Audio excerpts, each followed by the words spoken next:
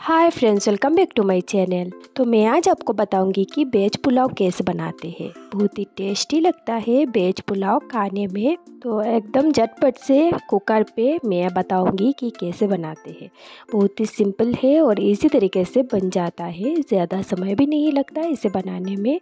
अगर आप लोग खाना बनाना नहीं जानते हैं तो भी ये जो वेज पुलाव है, वो बिल्कुल आसानी से बना सकते हैं। बहुत ही आसान है इसे बनाना। तो चलिए देखते हैं, इसको कैसे बनाते हैं और इसको बनाने के लिए क्या क्या चाहिए। तो चलिए बिना देरी करते हुए आज के वीडियो को शुरू करते हैं। तो वेज पुलाव बनाने के लिए मैंने यहाँ पे चावल ले ली है। आप कोई भी चावल ले सकते हैं।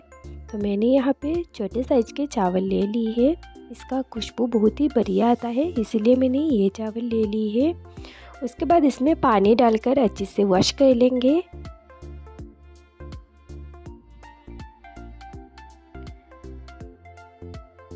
तो हाथ की मदद से इसे अच्छी तरह से, इस तरह से वॉश कर लेना है।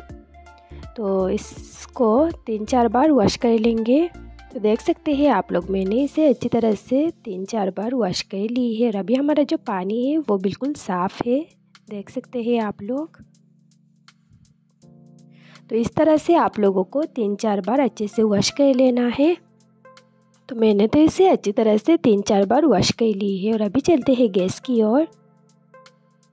तो गैस पे मैंने पहले से ही एक कुकर को गर्म होने के लिए रख दिया है। आप कुकर की जगह कढ़ाई पे भी बना सकते हैं, लेकिन कुकर पे बनाने से ये ज़्यादा जल्दी बन जाता है, इसलिए मैंने कुकर पे बनाकर दिखाया है ताकि आप लोगों को आसानी हो बनाने में।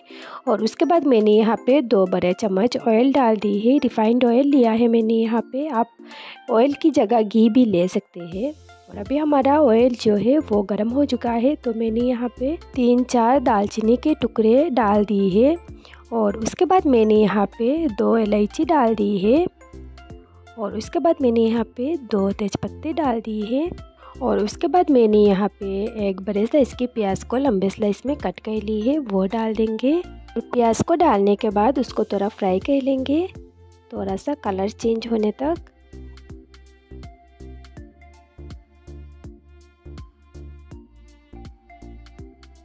देख सकते हैं, प्याज का कलर थोड़ा सा चेंज हो चुका है तो मैंने यहाँ पे आधा चम्मच अदरक का पेस्ट डाल दिया है और आधा चम्मच लहसुन का पेस्ट भी डाल दिया है। और इनको भी अच्छी तरह से फ्राई कर लेंगे ताकि इसका जो कच्चापन है वो चला जाए।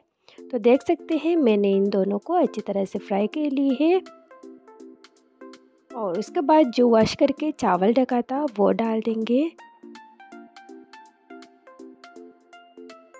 तो देख सकते हैं आप लोग, मैंने सभी चावल को डाल दी है और अभी इसको अच्छी तरह से फ्राई करेंगे चावल को। तो चावल को आप जितना देर तक फ्राई करोगे, आपका जो पुलाव है वो उतना ही टेस्टी बनेगा।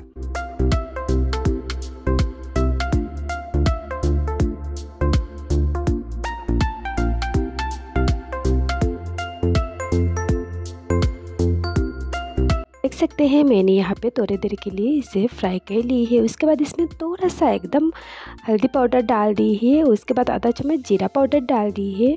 उसके बाद इसमें स्वाद अनुसार नमक डाल देंगे और नमक को डाल के फिर से इनको थोड़ा फ्राई कर लेंगे ताकि इन सभी चीज़ जो है वो अच्छी तरह से चावल के साथ मिक्स हो जाए। तो देख सकते हैं आप लोग, मैंने इन सभी को अच्छी तरह से मिक्स कर ली है एक मिनट के लिए। और उसके बाद मैंने यहाँ पे एक गाजर को इस तरह से कद्दूकस कर ली है, वो डाल देंगे।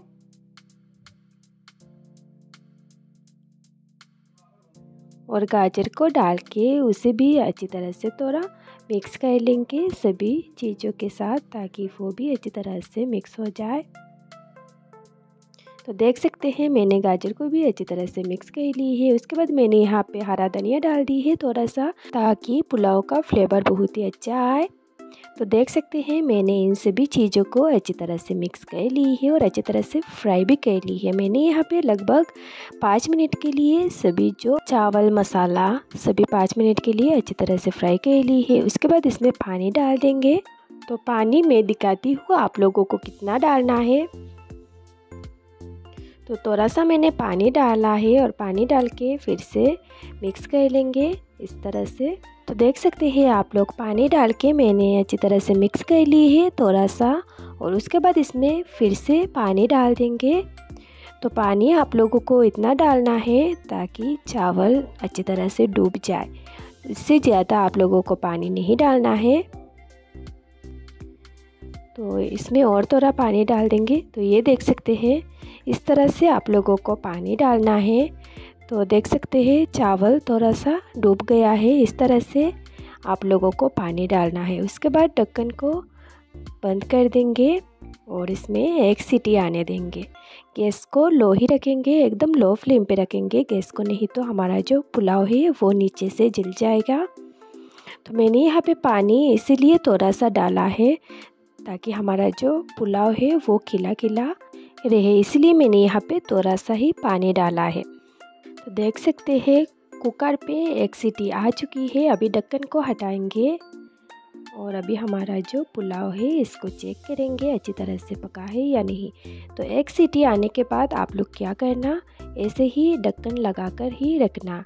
तो थोड़ा कम पका हो तो ढक्कन इस तरह से लगा कर रखने से जो चावल है, वो अच्छी तरह से पक जाता है। तो देख सकते हैं, अभी हमारा जो पुलाव है, वो अच्छी तरह से पक चुका है और बहुत ही बहुत ही प्यारा कलर आया है। हमारा जो वेज पुलाव है इसका तो आप इस पर हरे मटर भी डाल सकते हैं या जो ग्रीन अनियन होता है, वो भी डाल सकते हैं। या जो शिमला मिर्च है, वो भी डाल सकते हैं। तो फ़िलहाल मैंने यहाँ पे सिर्फ़ गाजर ही डाला है। तो आप इस तरह से हरा जो सब्ज़ी है वो डालकर बना सकते हैं। तो चलिए इसको एक प्लेट पे निकाल लेते हैं। तो मैंने यहाँ पे एक प्लेट ले ली है। अभी प्लेट पे निकाल लेंगे पुलाव को गर्मा गर्म तो ये जो पुलाव है इस तरह से बनाकर खाने से बहुत ही टेस्टी लगता है। अगर आप लोगों को कुछ बनाना नहीं आता है तो यकीन मानिए बहुत ही इजी रेसिपी है ये जो पुलाव है। तो एक बार आप लोग ज़रूर बनाकर ट्राई कीजिए। बहुत ही इजी है और झटपट भी बन जाता है। ज़्यादा मेहनत भी नहीं लगती इसे बनाने में। तो चलिए सभी पुलाव को प्लेट पे निकाल लेते हैं। सो ये देखिए फ्रेंड्स मैंने वेज पुलाव को एक प्लेट पे निकाल ली है। तो अभी हमारा जो वेज पुलाव है, वो बनकर बिल्कुल तैयार है और मैंने यहाँ पे थोड़ा डेकोर भी कर लिया है हरा धनिया से। तो आप इसे ऐसे ही खा सकते हैं या चटनी के साथ भी खा सकते हैं। बहुत ही टेस्टी लगता है। इसे खाने में, इसे गर्मा गर्म खाने से बहुत ही टेस्टी लगता है। तो आप लोग भी इस तरह से एक बार बनाकर ज़रूर ट्राई कीजिए और इन्जॉय कीजिए मेरी रेसिपी को और अपने फैमिली के साथ भी शेयर कीजिए, अपने फ्रेंड्स के साथ भी शेयर कीजिए। और अगर आप लोगों को मेरी आज की रेसिपी अच्छी लगी हो तो मुझे लाइक कीजिए और कमेंट भी ज़रूर कीजिए। और आप लोग मेरे चैनल पर नए हो तो प्लीज़ मेरे चैनल को ज़रूर सब्सक्राइब कीजिए। Bye friends